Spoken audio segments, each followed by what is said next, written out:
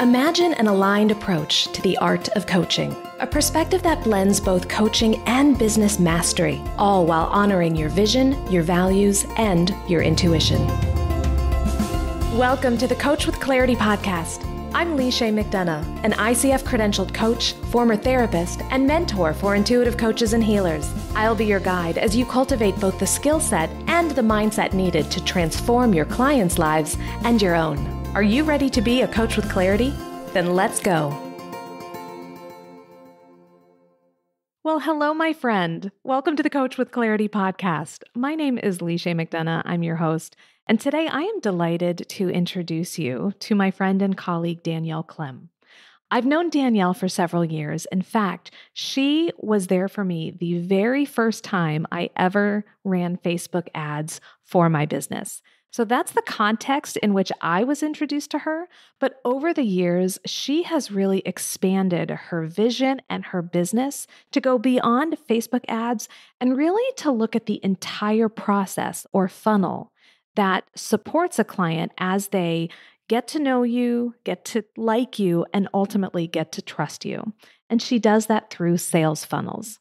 Now, I'll be honest with you, when I hear the term sales funnel, sometimes I have a bit of an internal cringe because I think about some of the less ideal ways we've seen sales funnels used in the online space, where it's very much about, let's be honest, a money grab and they don't feel client centered or client focused at all.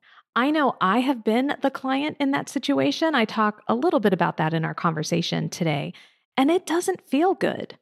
And it's certainly not an experience I would want to create for one of my potential clients. And I know as a listener of the Coach with Clarity podcast, that's not how you want your clients to feel either. And that's why I wanted to bring Danielle on the show because she's not about that either. She is very much about creating ethical, intentional funnels that support your prospective client as they engage with you and your business. She has so much wisdom to share in this episode. We talk about what funnels are, we talk about if you even need a sales funnel in your business. And spoiler alert, there are some of you who may not need them. And we'll talk about who you are and why you don't need them. But you might be someone who needs or wants one, and we'll talk about how to go about building that out as well. We cover so much in this conversation. I know you are going to love it. So let's get right into it. Here's my conversation with sales funnel expert Danielle Klemm.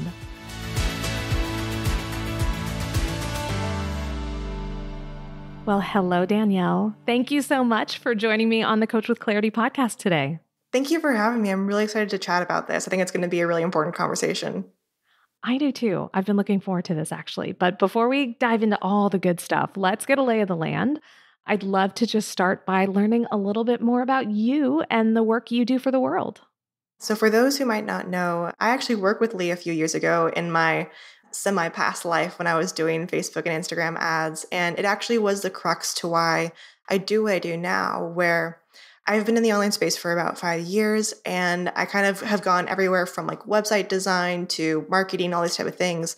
And I realized as I was doing things, for example, like with ads, what I noticed was that there was this pattern for people, even if they had like phenomenal programs, even if they had the ads were set up correctly, there would be times where they weren't getting the results they wanted because their funnel and their message that was on the funnel and the experience their funnel was giving their people wasn't actually what their people needed in order to buy, which meant people were, you know, either signing up or and then becoming ghost subscribers, or they wouldn't sign up at all and they'd have like clicks on their ads but not know why.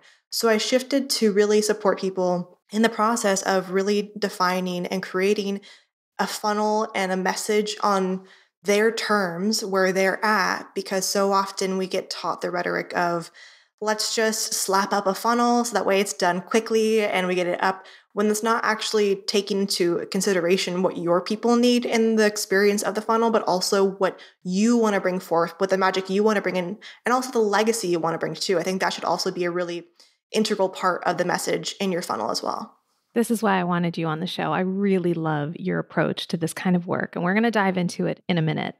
But before we do that, I want to dive even deeper into your journey to where you are today. So, you alluded to the fact you and I have known each other for years, and you and I had a wonderful working relationship when it came to Facebook ads and Instagram ads and the like. but I'm betting you probably didn't even start there. So, like, tell me a little bit about the evolution of your business and kind of what brought you to where you are right now. I always answer this or I start this question trying to figure out how far back should I go. so I Right. I, it's like, well, when I was five. really.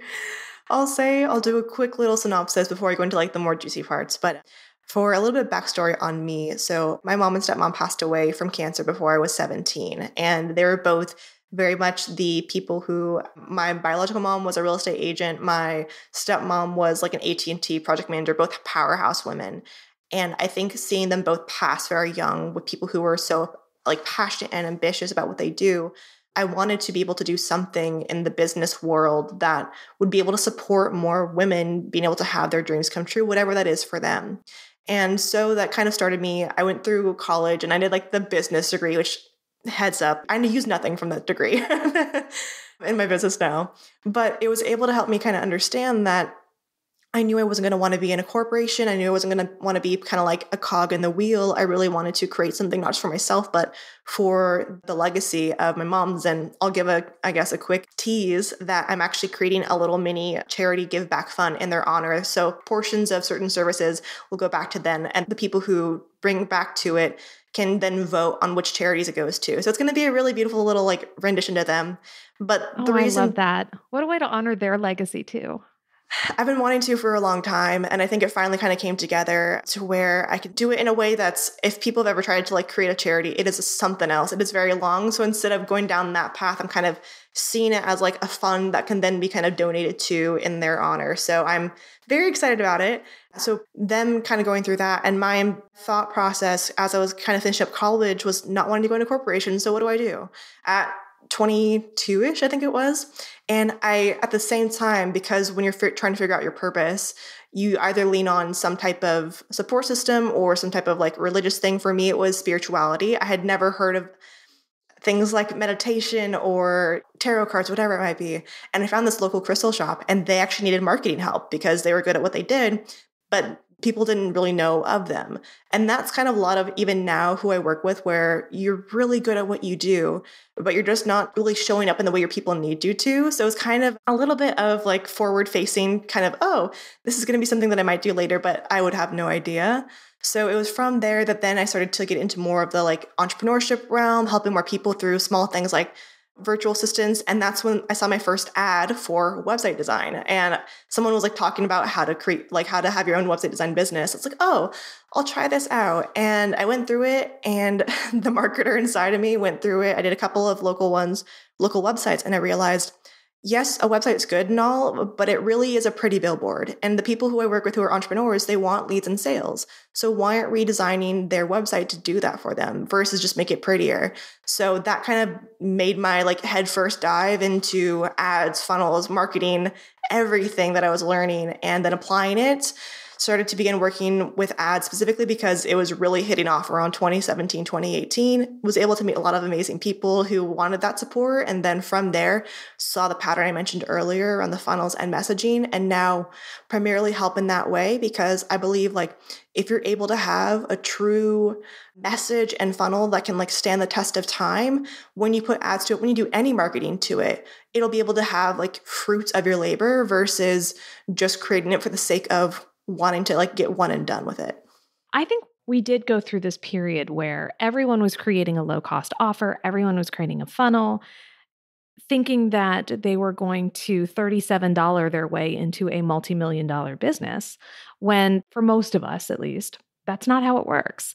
And not only did I see, I actually purchased some of these lower cost offers on funnels. I remember one, it was a $27 offer. And when I downloaded it, it was a two page PDF with no actionable material. It should have been a freebie. And even if it had been a freebie, it wouldn't have been a very good one. And I remember feeling so duped and so angry that I immediately unsubscribed from that person's list. And so, to your point of being clear around the messaging as part of the funnel, also the value and ensuring that we're using this as a way to build and nurture relationships, not just as a revenue source, I think is so important. And I really appreciate how you approach this work. Yeah, it's something that I try and use this phrase more often because I think it helps to understand the the relationship I want your message and your funnel to have is I want you to help create more lifetime buyers.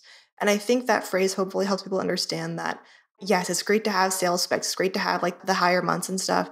But what I'd rather be able to support you with is creating something that will help people to want to stick with you long term, whether that be six months, four months, a year plus, but on like the problem that you solve.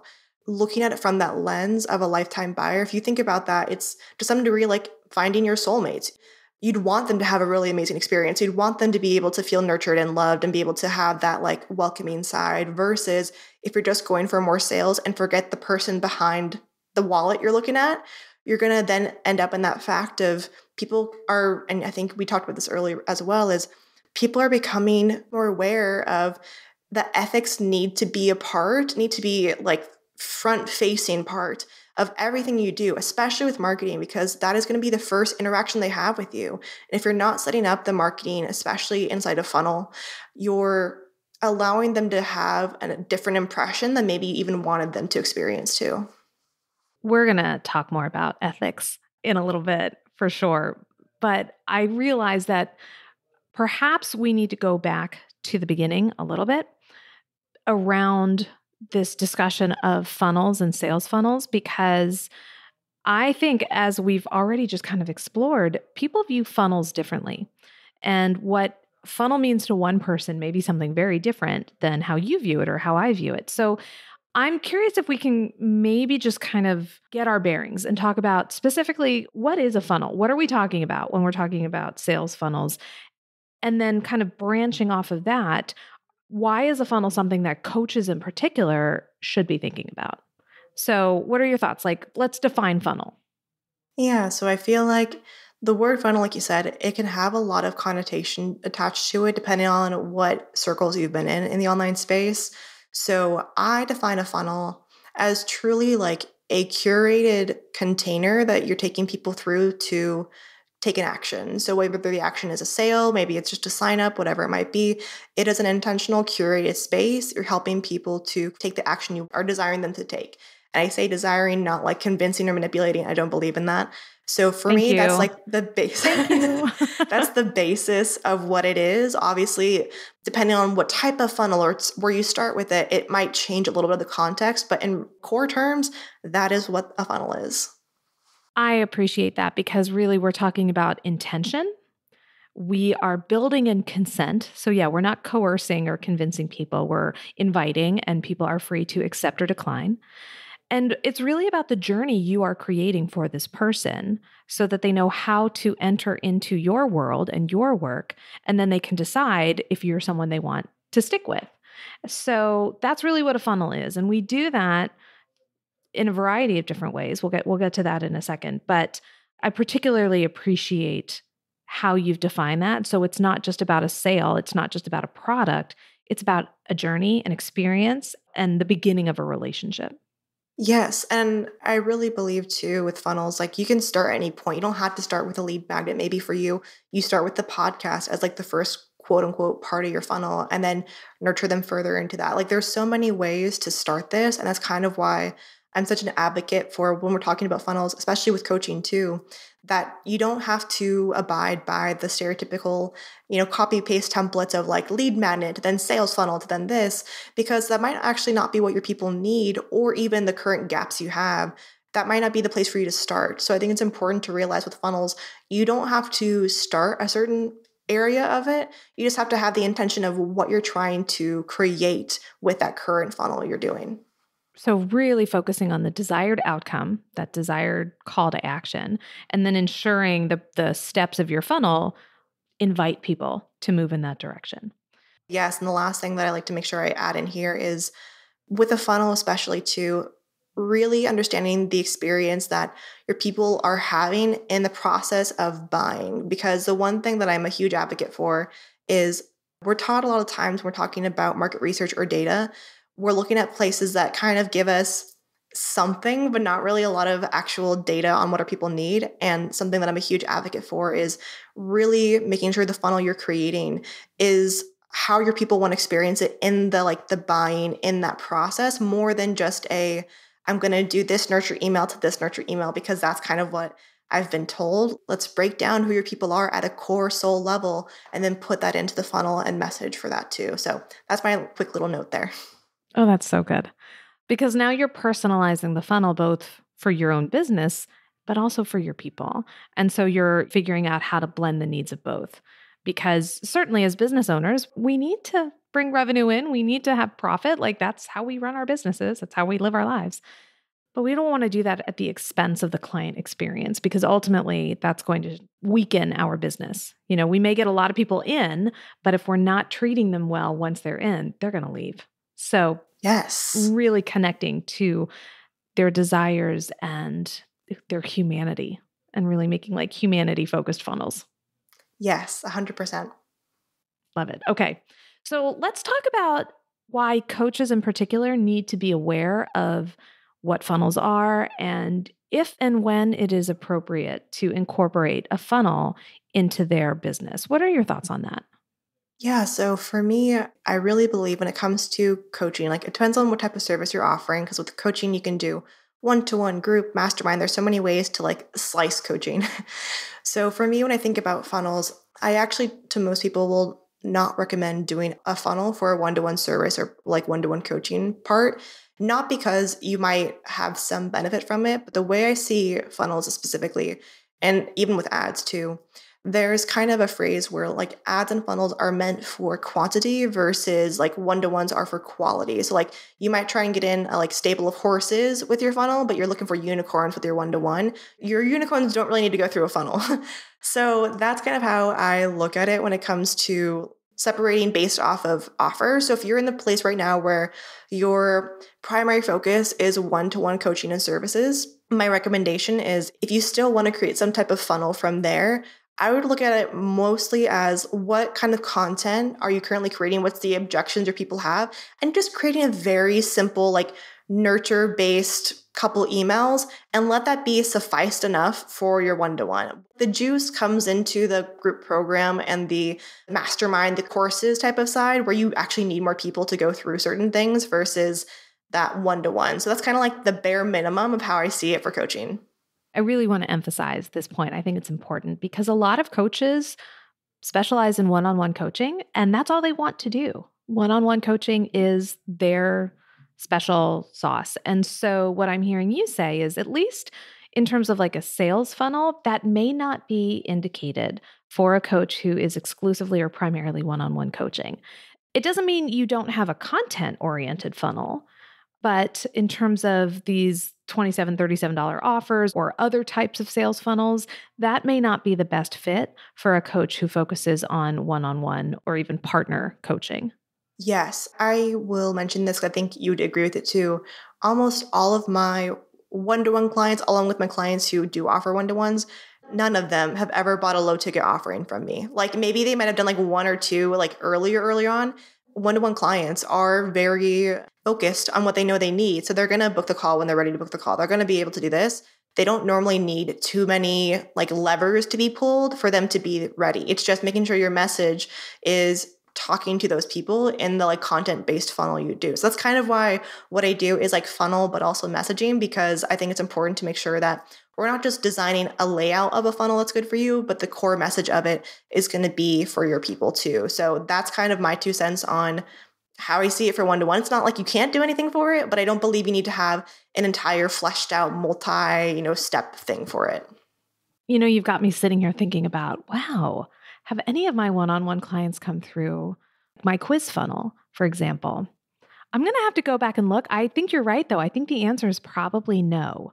It's possible now. I do have some people that I work with one on one who have been in other programs of mine and then moved into one on one, but it wasn't like they went straight from like quiz to one on one. Like there were other pathways that they had to go through first. So I think that's such an interesting point around funnels. And so essentially, what we're saying if you are a one on one coach and you want to stay a one on one coach and that is working for you, then maybe release any shoulds or supposed tos around having to have a sales funnel Because what yes. I'm hearing from you, Danielle, is that's not the case. It can be a nurture funnel, it can be a content funnel, but a sales funnel, maybe that's not for you.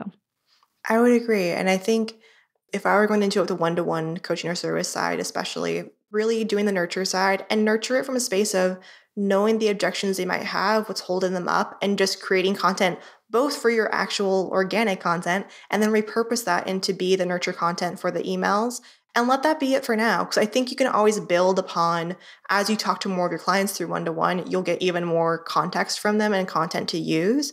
But if you're wanting to just kind of have a place to have them kind of be warmed up you can use that. But like we mentioned here if you were to look back at all the like one-to-one coaching clients you've had there's a good chance that a lot of them either have never bought a low ticket program for you. Maybe they did like a, like you said before, like a different program and upsold. Maybe they were in a quiz funnel, but that wasn't the like exact way they bought because one to one clients are kind of in a beautiful way unpredictable. like they usually come from like a podcast I listened to of yours, or maybe they're in it for a while and then booked randomly. Like I think trying to diagnose a specific starting point for those people isn't supportive. So that's why I recommend doing it for more of like a program or a course or a mastermind instead. That makes so much sense. All right. So we've spoken to our coaches who specialize in one on one. I'd love to talk to what the coach who wants to build out a program should be thinking about when it comes to building out a funnel. So maybe it's their first small group program, maybe not, maybe it's more of a membership, but there is this larger container that they'd like to direct their people to. So when we think about that, and we think about creating a funnel, what do you feel like are some must haves or must includes? Or perhaps I'm making an assumption here. Maybe there are no must haves or include. But I'm curious, kind of like how you start conceptualizing a funnel for a coach who is interested in bringing people into their group spaces. So I would say, first things first, is really understanding that have you sold this program before? Is it your first time selling it? Because I think you need to make sure that you've sold this program, I would say at least once before you set up an entire funnel for it, because you're going to be able to have so much data to go off of from like selling it, from posts you write, from emails, from talking to people. I would say at bare minimum, you should be selling that thing once at minimum before you do a funnel. And it's not that I don't believe you can't, but if you create a funnel before you design or are launching a program, you are most likely going to go back in there and redo almost all of what you did because the data you now got from the like launch or the post that you wrote for it are going to be indicative of what to change. So I like to make it easier for the person and say, let's not create too quickly. Let's actually use like a launch style promotion period and let's start testing what your people really respond to first. So I'm a huge advocate of using the content you have or using the current platforms you're going for. Let's use that to test what the content types and the things that they're really resonating with and then use that data to then build a better funnel from there. And then this knowing where to start with that funnel depends on obviously what you need at the moment, but I'm a huge advocate for really testing with what you currently have versus starting with the, like nothing and wanting to create an entire funnel from there. So that's my two cents and I would say for most of you who are listening to this especially is you want these funnels to work for a long time most likely. That's not going to happen if you don't look at your data or know what's going on with the posts or emails or like conversations you've had because that's going to be the answer to the questions you have around how to create a like sustaining funnel. I could not agree with you more. Let me just say, I'm a huge proponent of running small initial programs or a beta round of something because that is where you get to test things out and see what works and see what your audience responds to or doesn't respond to.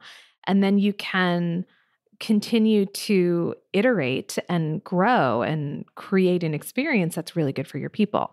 And so, what I'm hearing you say is yes, do that. And the funnel kind of comes maybe after that first round or after the first couple rounds when you've got the data and the experience and the testimonials and all that good stuff to kind of back up your hypothesis that this is something that a funnel could lead to and result in a successful outcome for everyone. I agree. And I would say that you can still, after your first launch, like begin to start to automate maybe like the one or two best performing emails that you had, put that into an, like a sequence. And that way you have that there for people to go through for the next launch. And then you begin to build a like rough draft of your best performing stuff. And then you'll be at a place where you would be willing to look at, okay, what can we build that's more solid of a flow for your people? Just because I think sometimes people jump into it too quickly where they want to create the webinar so that way they have people come into it, which I'm going to be honest, a lot of times now, webinars, especially evergreen webinars, aren't performing as great as they did a couple years ago. That's why knowing your people and knowing what they actually need to experience is so much more important than just trying to get something up that you want to have just for the sake of more sales. So that's really how I like to approach the funnel side of it and really understand what you have, the data we look at, and then from there, what's the next step for you to create? Like what is truly the next step to help fill the like the major profit gap you might have? Maybe that is for you. You've been doing a lot of sales content, but you haven't done a lot of nurture content. Let's start there first. Maybe you've been great at one-to-one calls and you've been doing a lot of like live calls, but you haven't done a lot of Mm-hmm. workshop or challenges that your people might need. Like that's kind of what I believe to start with when we're building a funnel for a program that we want to have for a long time, which means we have to build it really intentionally. I also love too that you've kind of addressed the fact that you can repurpose content and material over time. Can you speak a little bit more to that? It is one of my favorite things to talk about because I think sometimes we think that we have to leave only things that are in the funnel for things that like they're going to experience once and it's gonna be the first time to experience it and it's gonna be great in this like seven email sequence, whatever it might be. And for me, I actually believe that I would rather have the emails inside of there be tested in real life, whether it be through an active of a testing framework for this reason of like maybe we need to test certain names. We'll A B test with an email subject headline to see what's going to work out well here. Let's use a podcast episode to see what gets the most listens, do a series for it. I think you can use and you should be using a lot of the content you are creating and you can still create with intentionality versus kind of going into it as this place of let's put it in this like small dark corner of a funnel where like they only get experience if they dive into it. When in reality think about how many times you maybe have seen a post or podcast once and forgot about it six months later. That's why I'm not super worried about people using it for their funnel because there's a good chance people aren't going to remember one, the topic that you went over, and two, you're probably going to elevate it in this repurposed way that's going to be fleshed out more with like more storytelling or more like numbers. So, really allow yourself to begin to see your marketing funnels as an ecosystem. It's meant to work together, not to be so separate where like they have to only be in this like one hallway kind of content. I really like that approach. And, and I have to remind myself too that odds are I am the only person on the planet who has ever read all of my emails. And we know too that we need multiple exposures to content and ideas for them to really sink in. So, the idea of repurposing content, even repurposing an email, you're allowed to do that. And actually, it could wind up serving your client. So, yes, it saves you time, but it also gives your client an opportunity to get that message more than once, and then it's really going to sink in. 100%. So, there's one other thing I want to ask you about. And before we hit record, I always like to have little conversations with my guests, and we got to talk about like some of the highlights we want to hit. And you said something that really hit me hard to the point where like I wrote it down, I think verbatim. I think these are your words.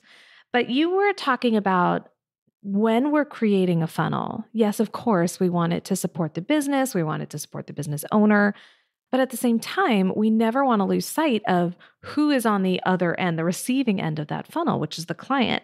And you are so focused on making that funnel an experience for the client. And I thought that was such a wonderful way to view funnels is like creating this experience that your would be, hopefully soon to be client or customer goes through. And so, this experiential funnel process, I'm fascinated by. And I'd love to just hear a little bit more about what that means, what that looks like, and how that informs your approach.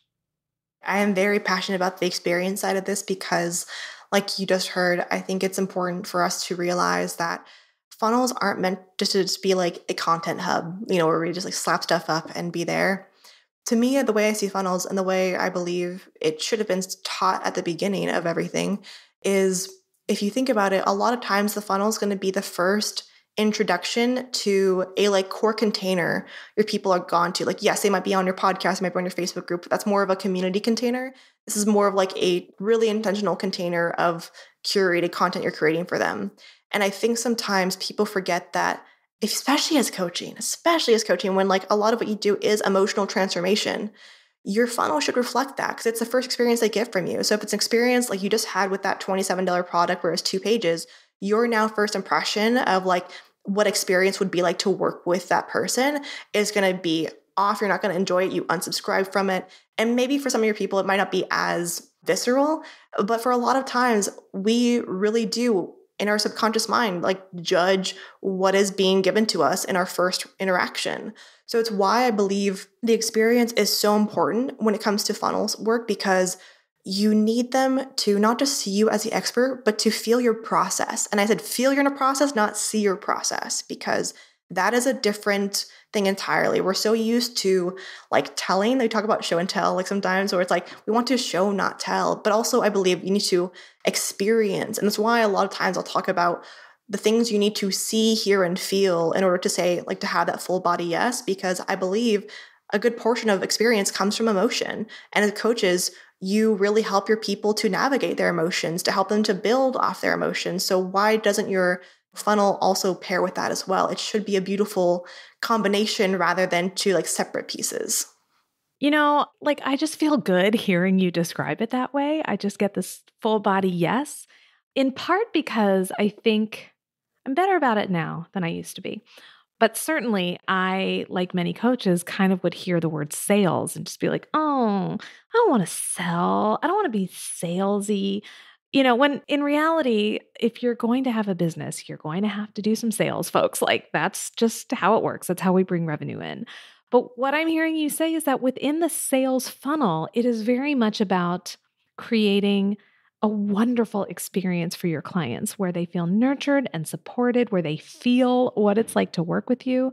And so it takes all of that ick factor out because you're not putting the spotlight on you, the recipient, you're putting the spotlight on the client and really focusing on what will this journey be like for them? How can I create as beautiful and positive an experience for them so that regardless of whether they say yes or no, they walk away feeling really good about it? That's just something that really resonates with me. And I think that's also at the basis of ethical sales and ethical coaching, that we are centering the client experience throughout, not at our expense, mind you, but we're also ensuring that our bottom line isn't necessarily what's leading here. What's leading here is what the client needs, how we can meet them where they're at, and how we can create an experience that feels supportive, that honors them. That to me is at the, the root of ethical practice. I would agree. And it's why I believe in taking an approach that is this experiential feel alongside of the data behind, you know, doing emails and certain things. Like one of my favorite things to do when I'm looking at people's content or funnels, whatever it might be, is to do some type of audit, but in a way that's not like auditing just like, what are your numbers? What I actually do on top of looking at like the basic stuff of like your email open rates and click through rates is I actually put on a heat map tool onto your like sales page and your website so we can actually start to see how your people are interacting with your message and interacting with your funnel. That's where the experience comes from because we can then see what they're not saying. I think that's why I don't like market research sometimes because you're asking them questions that even if you do ask them like more story based questions, they're telling you what their brain is thinking, but not what they're actually experiencing the moment of going through your page and the moment of going through your emails. And that's what that provides. So that's kind of why the approach that I take is emotional, but it also has the data back to make it feel also safe for you. Because I hear the biggest thing all the time with funnels is like, I want to create a profitable funnel. One of that comes from the experience side, and the other part comes from actually being able to see the patterns and themes, the unspoken objections your people have that they're not going to be able to say to you because they don't know how to explain it, but they're showing you in the way they're clicking off certain things or they're not saying certain areas. So that's kind of why the experience is not just a traditional linear A to B sometimes. It really is taking intention behind what you do and letting yourself kind of go down the path of the experimenter rather than just a, you know, ClickFunnels copy paste type thing. You know, there's a reason I like you so much, Danielle. There's a lot of reasons I like you so much, Danielle, but one of the reasons is because for me, at the heart of the work that I do, it's the intersection of strategy and intuition. It's how we can take external knowledge and data and blend it with our internal knowing and our values and our vision and I feel like that's what you just described. Yes, we're looking at data and we're looking at how your audience is responding and we want to see what's working and what's not. And there's also room for you to show up as your full self as a coach and to honor your intuition and, and your desires. So, the way you approach building out funnels is how I approach coaching. And all the more reason why I am just so happy that you are a guest on the Coach with Clarity podcast and that you will be a future guest expert for the Coach with Clarity Collective. So I'm really looking forward to that. In the meantime, however, I am positive people who are listening to our conversation today are going to want to learn more about you and your work. So, where is the best place for people to find you? How can they connect with you? Yeah, so I'm trying to be better about being more consistent on the interwebs, but I am on Instagram at Danielle Klemm with three M's. Weirdly enough, my name is taken by like a random person. so I have three M's instead of two, but there's that. I also host the Online Presence podcast, which is actually Lee's going to be on upcoming soon as well. Uh, it's Yay. one of my favorite things to do with people and websites, danielleklemm.com. I would say if you're wanting to like dive into this kind of work, but not sure where to begin, I'm actually at this point in time probably about to be closing up a program that is called Perk Up and Purchase for this exact reason, because so often we're not really knowing what to look at in our content and what we've done how can we begin to use that in a way to help create what I call like the 1% plan of like what to help us to change and change first to start to build more of that in a more sustainable asset like Lego block way rather than just trying to do it all at once. I will make sure that we have links to your website, the correct Instagram account, Danielle Klemm with three M's. We'll have links to all of that in the show notes. Danielle, I cannot wait to be on your show. I will definitely share that with my audience when it comes out. But for now, I just want to say thank you. Thank you so much for sharing your time and your wisdom with us today. It's been such a pleasure having you. My pleasure. It's been great. And I hope that people are able to get some reassurance around whatever they might be ha- having come to this podcast to hear. I have no doubt they have. So thank you again.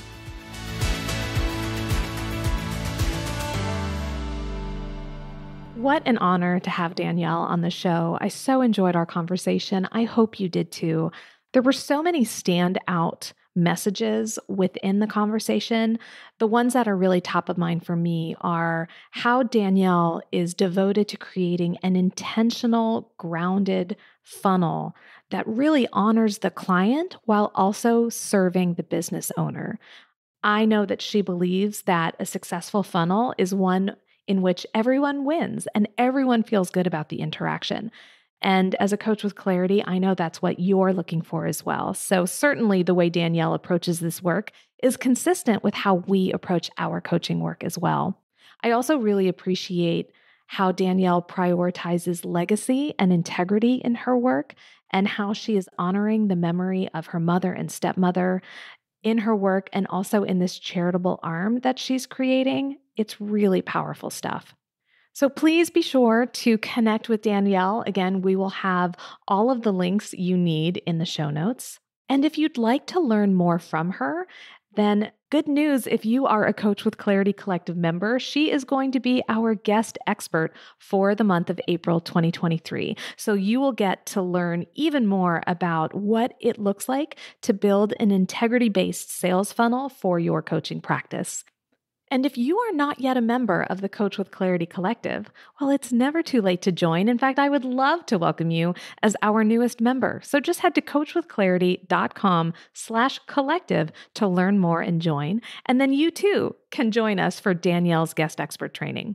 The good news is that our guest expert trainings, our spotlight coaching, and our Q&A calls are all recorded, which means you have unlimited access to every single call we've had since the inception of the program all the way back in 2019. There is so much waiting for you inside the collective, and I view my role as the facilitator of the collective as being a curator. So if there's a particular topic that you're interested in, or if you need guidance on a specific issue, as a member, all you have to do is reach out, let me know, and I can point you in the right direction of a training or a call or a resource inside the vault that can serve you.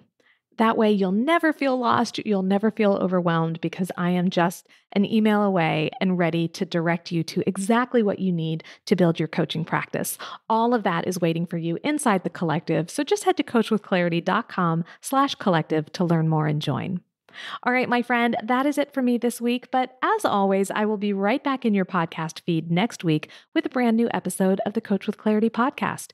Go ahead and make sure that you are following or subscribed to the show wherever you listen to your podcasts. That way, you can be assured that the next episode will be waiting for you in your feed as soon as it's available.